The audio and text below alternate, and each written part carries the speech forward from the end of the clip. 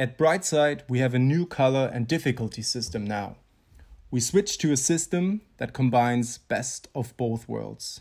That means, in the past, the hold color indicated the grade.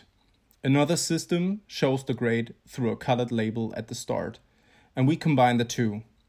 The first and easier grades or colors, up to red, are still indicated by the hold color, making it easy for beginners to see which boulders suit them. That's how we had it in the past. But now the higher grades, white and on top black, are indicated now through the label at their start, so the hold color can differ. That gives more advanced climbers a bigger variety. On top, a couple of boulders have written down a number on their start label. This number refers to the Fontainebleau scale for bouldering outdoors. That should give you a rough idea on where you're at at your climbing and how it would be translated to climbing outdoors.